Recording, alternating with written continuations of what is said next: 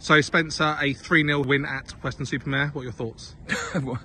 Fantastic. That's my thoughts. After a five and hour, five and a half hour trip to get here, I arrived five minutes before kickoff. You know, uh, what a what a shift and almost the perfect away performance. Started really brightly. Their keeper, or they make it had double chance in the first minute and get ourselves 2 0 up. They can't handle. They couldn't handle our long throws.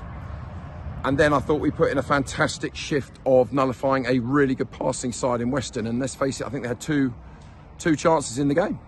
Uh, two good saves from Jack, tip over and uh, in the first half, and they came out second half. But for all the keeping of the ball, I thought our shape was fantastic. And then we've scored on the break.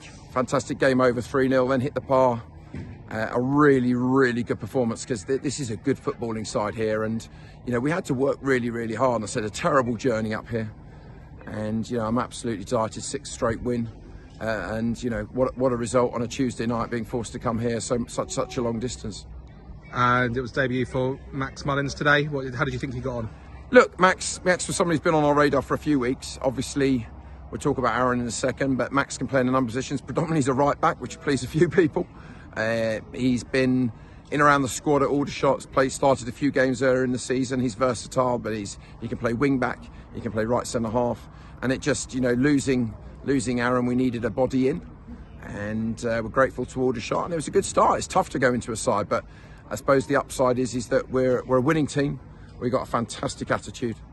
You know, uh, as I said, it's uh, it's been a terrible trip to get here. And um, look, it was a great start, you know, clean sheet. Let's not beat around it, you know. And I said we restricted them as much as they had some good ball after we went 2 0 up. Thought our shape and work rate was fantastic to restrict them. And, uh, you know, we then got the result by uh, catching them on the break, as I said. As you just mentioned there, Aaron did leave this week. What are your thoughts on that? Well, I'm gutted. Of course, I'm gutted. Uh, but let's be absolutely clear. Um, he's not our player. Um, he's Dorking's player. And yes, we've had him a long time, but we can't control loans. Uh, you know, there's always a recall. You can't protect it. There's always a recall after 28 days. And, you know, with the greatest respect, Dorking have got to look after themselves. And, you know, it's very disappointing. Um, I wish we were in a financial position to be signing these players full time. We're not paying anywhere near their wages. You know, we've been very grateful to Mark at, at, at Dorking, and you know we're, you know, we're going to miss him. But it was it was my key moment to the to the group today. It was very easy uh, for people to say, "Oh, that's it. You're not going to. That's it. You know, you're, you're not going to carry on the winning run." And we love Aaron, and uh, we're very grateful for his time at Farnborough, and of course we're desperate to get him back another time, another place. But let's not forget everybody else in this win. You know, I think we've had one defeat in 12 to the league title winners.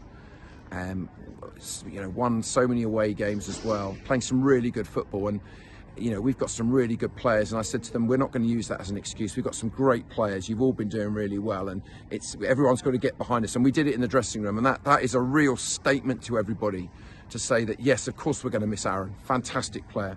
But we've got great players. We always had Taylor ready to come in. Taylor's been really good. He's 18 years old. You know, the age of this squad is incredibly young. But Taylor's come in again. He fits straight into that role.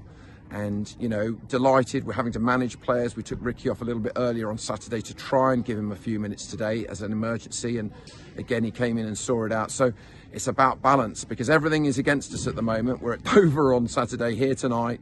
You know, the next opponents are sitting at home and, and then the opponents we've got on Monday, they've not been playing midweek, so it's such a challenge for us, but of course we're loving it.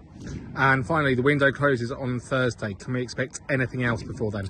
We've got another bit of good news. I'll, I'll let the club announce that tomorrow, but we've got some very, very good, exciting news tomorrow. And, you know, we are, we're very happy where we are as a club. You know, we're on a fantastic run. I think we must say that please, please, this is the time we need you on, on Friday, Friday afternoon you know, against a fantastic team in form, four straight wins Chippenham.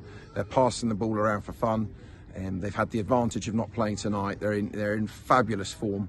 They've beaten Yeovil away. They've beaten Worthing. They've beaten you know Welling are also in fantastic form. They're in, they're really flying at the moment. And it's a free hit for them. And you know it's such another difficult game. But we're at home.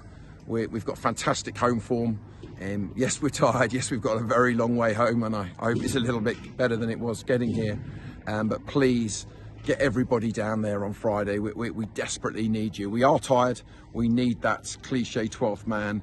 Uh, I said we've got some good news coming being announced tomorrow. It's the start of moving forward. So, look, thank you to the fans that also made that horrific journey down here. And, you know, please get everybody there on Friday for a really exciting challenge. But what a group! What a group we've got here at the moment. You know, from the uh, from all the staff involved in the first team to to the, the club, the way that we're developing, and another fantastic result. And uh, we look forward to getting everybody there on Friday. Cheers, Spencer, and good luck for Friday. Thanks a lot.